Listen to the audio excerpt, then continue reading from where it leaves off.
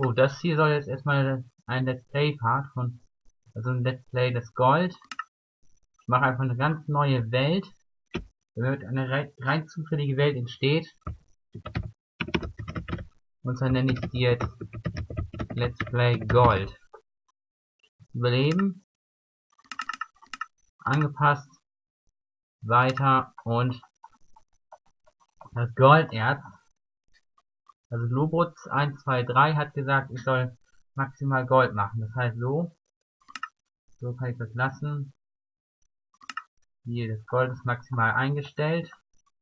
Wie man hier sieht, ist es eingespeichert. Und generiere eine Welt. Also, eine, das ist eine ganz neue Welt. Damit ich nicht, so wie, das war beim Beispiel nur diese Beispielwelten. Die könnte ich vielleicht jetzt, die würde ich vielleicht selber privat spielen, aber ich erstelle jetzt für jedes Let's Play dann eine neue Welt. Eine komplett zufällig generierte Welt. Die wird jetzt erstellt. Ist wie im Überlebensmodus ohne Cheats.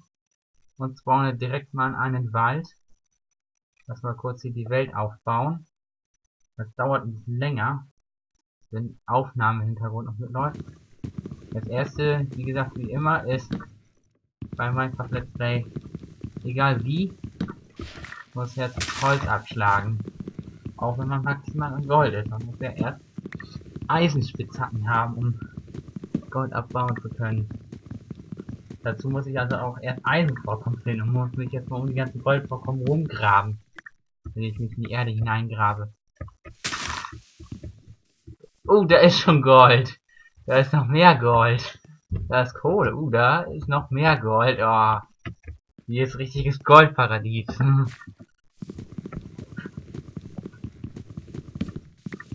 schlag erstmal hier zwei Bäume ab. Dann habe ich erstmal ein bisschen genug Holz und würde mir dann Holz, Spitzhacke einem Stein abgraben und dann direkt eine Steinaxt, um dann ein Haus zu bauen. Und dann mich in den Untergrund graben und hier. Also mit den allen Folgen ist es so, dass man jetzt, habe ich rausgefunden, jede Welt wird das immer einzeln abgespeichert. Fortgeschrittenes Handwerk. Und jetzt ist meine Spitzhacke. Kriegt vielleicht Glück auf. Kann ich nämlich hier die Kohle abbauen.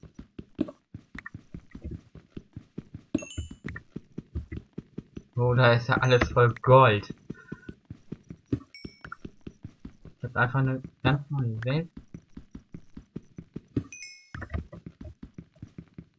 Hoffe ich mal, dass es der, der Lobos 123, der mir das gesagt hat, bei einem Part oder ein Video, was ich gemacht habe.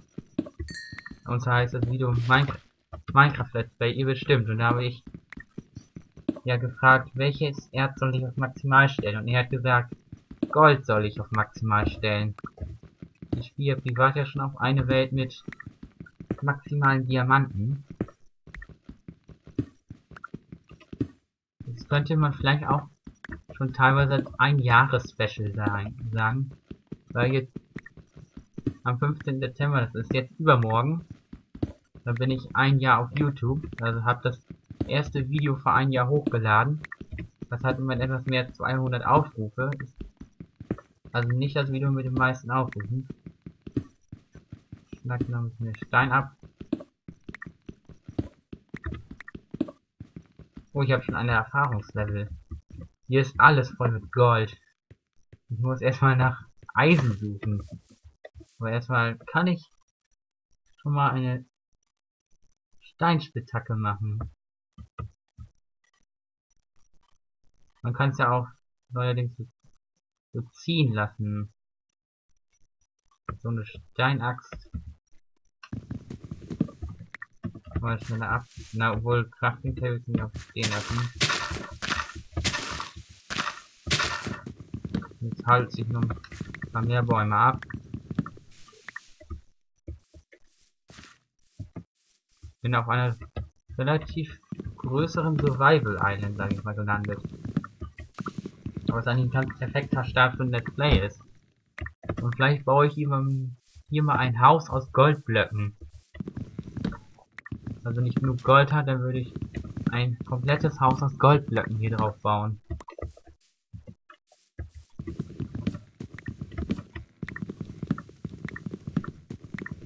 Sollte mal so ein, etwa so ein 64er Stack haben, wenn, ich alles abgeholzt habe.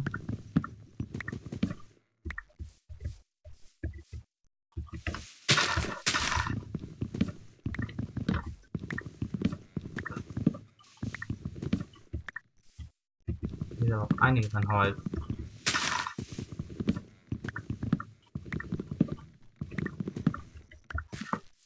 Hier ist ein kleines, kleiner Wald. Das ist eine Insel. Wenn ihr gerne die Welt haben wollt, dann kann ich sie als Kopie, also dass man das komplett neu beginnt, einen Download freigeben hier. Mit dieser Survival Island oder mit maximalen Gold. Oder das brauche ich nicht unbedingt als Download. Ich kann ja einfach sagen, hab ja nur, du musst nur den jeweiligen Seed eingeben und dann das Gold auf maximal stellen. Dann hat man die exakt gleiche Welt. Sogar eine Birke habe ich. Habe ich auf meinen. Oh, jetzt ist so langsam. Es ist Mittag, es wird so langsam Zeit hier aus dem Holz hier Holzbretter zu machen.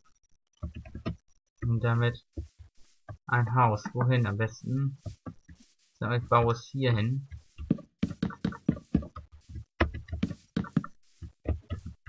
So, ich habe noch mehr Holz.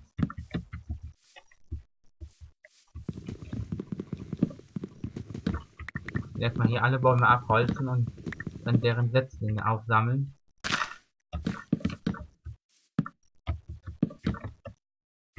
Nur erstmal ein kleines Häuslein.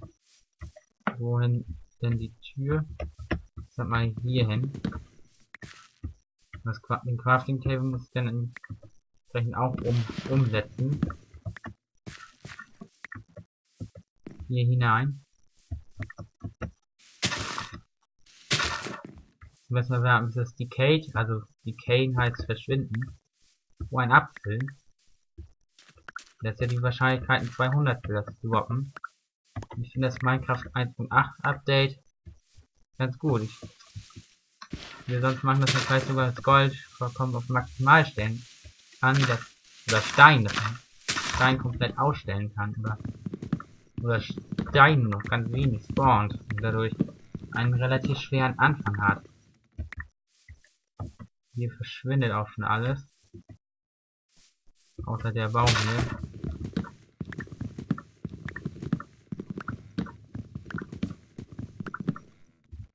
Ist der Stamm auch raus.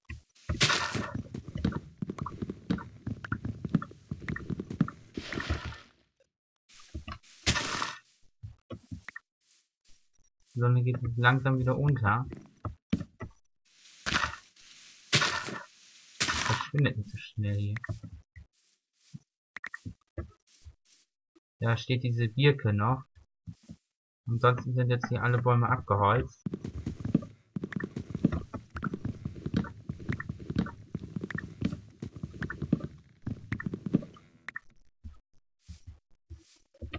Ich nochmal hoch. Nicht da unten ins Wasser, sondern hier jetzt hoch. Das ist auch noch ein Baum.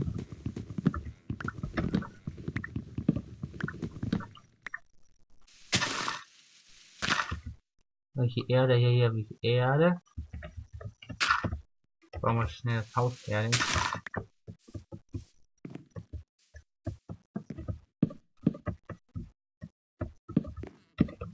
Ich, würde sonst das zweite Haus aus also komplett aus Goldblöcken bauen. Weil ich jetzt ja vorgeschlagen bekommen habe, maximal Goldvorkommen. Dann werde ich einfach beim Minen ständig auf Goldvorkommen sto stoßen und die dann komplett ausgraben. Eisenspitzhacken oder Diamantspitzhacken. Ich gehe nochmal einen höher. Du ja auch noch Oh, was hat der denn gemacht? Einfach die Nahrungsbeschaffung, die wird anfangs schwer sein. Deswegen werde ich jetzt erstmal nicht auf schwer spielen, sondern auf normal.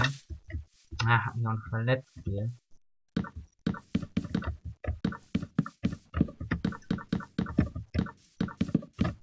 Ein 5x5 Innenraum habe ich hier.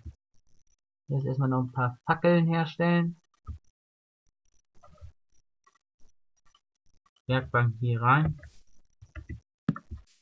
Zack, zack, zack. Und außen nochmal hier. Zack, zack. Zack und zack erstmal. Und da sind jede Menge Setzlinge. Also ich könnte hier eigentlich den ganzen Wald hier längst wieder aufforsten. Jetzt wird mich mein Leben noch gerade regenerieren. Jetzt nicht mehr. Ist mein Hunger zu weit runtergegangen. Dann liegt jetzt noch ein zweiter Apfel. So eine Notfallquelle für den Beginn. Oh, 40 schon. So viel Setzlinge. Aber das Gold. Das dauert noch ein bisschen, bis ich das verwenden kann. Das ist noch nicht alle Bäume weg. Zwei Äpfel habe ich jetzt. Ein paar Samen holen, dann kann ich mit. Ich könnte sonst am nächsten Tag da auch hingehen. Nachts will ich da ja nicht hin. Weil nachts ist die Gefahr von Monstern einfach gegeben. Und es wird jetzt dunkel. Ich gehe jetzt noch ein bisschen mit der Holzspitz. Der Holzspitzhacke hatte ich ja weiter unten auch noch ein Kohlevorkommen. Wenn da ist noch ein weiteres Kohlevorkommen, kann ich das nämlich noch ausgraben. Vielleicht grab hier ein bisschen Stein weg, damit die Holzspitzhacke auch mal kaputt geht.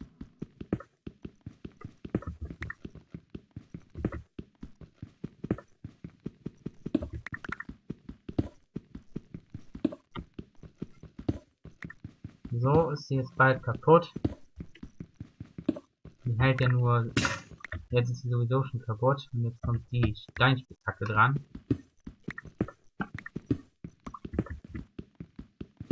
Das Gold kann ich noch nicht abbauen, weil das einfach nur zerbröseln würde. Ohne, ohne dass da was rauskommt. Dafür braucht man ja mindestens eine Eisenspitzhacke, um das ganze Gold hier abzutragen. Das ist richtig eine Goldmine. Pro Kohleerzblock könnte ich vier Fackeln herstellen. Also mit also ein Holz also ein Holzblock und zwei Kohleerzblöcke bedeutet acht Fackeln. Man braucht jetzt zwei Kohle. Das könnte ich so noch nicht abbauen, aber aber der Steinspitzhacke dauert das nicht so lange wie wenn man das wieder Hand abschlagen will. Jetzt hier noch mit dem Stein hier. Jetzt ist Nacht geworden. War eigentlich auch kein Schwert hier.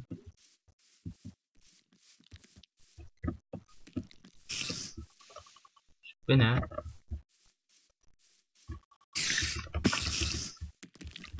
Bin noch nicht bewaffnet hier. Der sollte mich nicht sehen.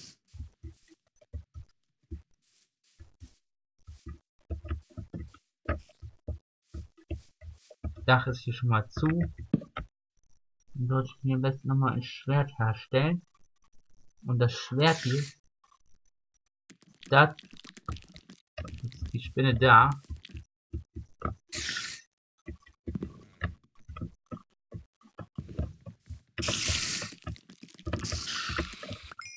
So, ich bin doch Monsterjäger. Den Erfolg erzielt. Jetzt würde ich erstmal die, meine Insel ausleuchten wollen. Nur mit einem Stack Fackeln. Dafür braucht man 16 Stück Stock und 16 Kohle. Aber jetzt mal ein Stack Fackeln. Um meine Insel erstmal auszuleuchten.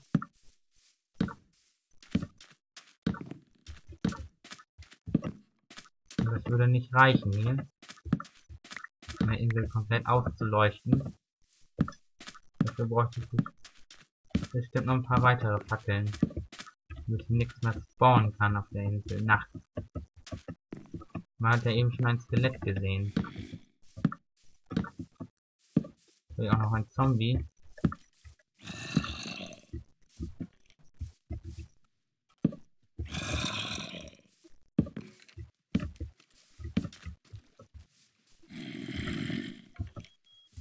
Dort ist ein Skelett und ein Zombie.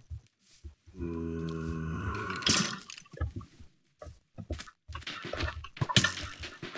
Voll ab. Greifen wir das Skelett auch noch an. Jetzt muss ich einfach mal auf den Tag warten hier, dass ich auch dieses Stück ausleuchten kann.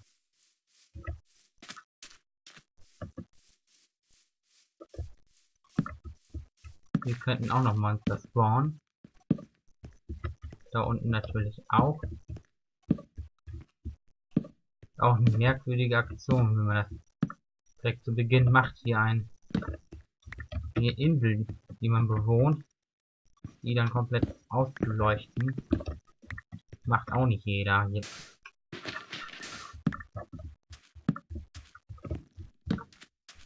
Um hier Monster spawn zu verhindern. Ich befürchte, die Fackeln reichen nicht. Da stimmt immer noch Zombie und Skelett.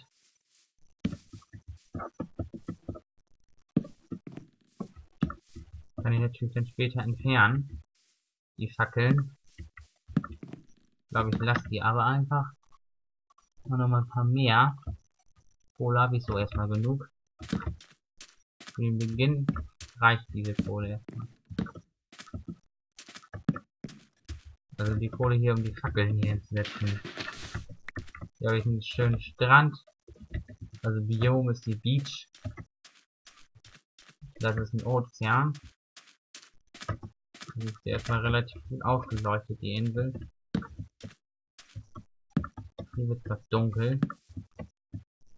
Hier kann man die auch kann man die auch nachts kann man die nachts so sehen.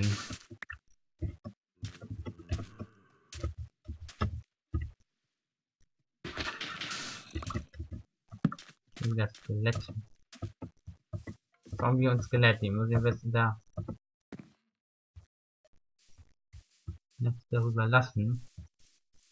Und jetzt erstmal die Insel ausgeleuchtet, damit die sonst nicht spawnen soll. Mein Haus baut auch nichts. Aber ich muss warten, bis es wieder Tag ist, weil dann... Und ein paar Fenster will ich gerne auch haben, also... Dann erstmal eine Steinschaufel machen. Birkensitzlinge. Habe ich keine. Was muss ich vielleicht da hinten hingehen? Ja, nicht dahin, sondern... Ach, da. Doch hin.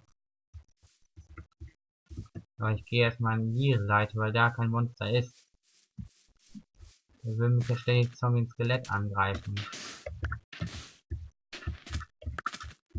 So, ich eine Fackel auch noch.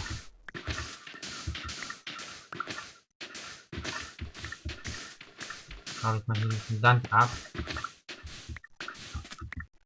Was es noch relativ aussieht.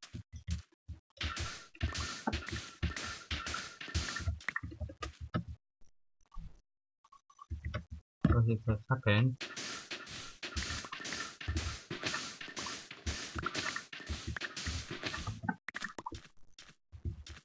Der ist doch eigentlich gut abgegraben. Ein bisschen Sand. Dann brauche ich noch einen Ofen. Dass ich später auch für das Eisen benötigen werde.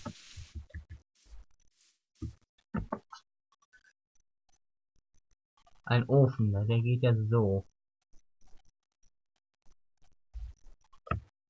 Da ich jetzt einen Ofen, den ich hier, hinpacke und und den habe ich jetzt mal ein bisschen Kohle reingepackt. Na, nicht alles. So ein bisschen mitnehmen. Und eine Tür fehlt mir auch noch. Die könnte ich vielleicht sogar aus Birkenholz. Einfach einmal eine Birkenholztür hier hin. Birkenholztüren. So sieht eine Birkenholztür aus. Was kann ich denn machen jetzt hier? Also hier den, den Apfel essen. Ah, kommt gerade so eine Störung, aber nicht ganz weg.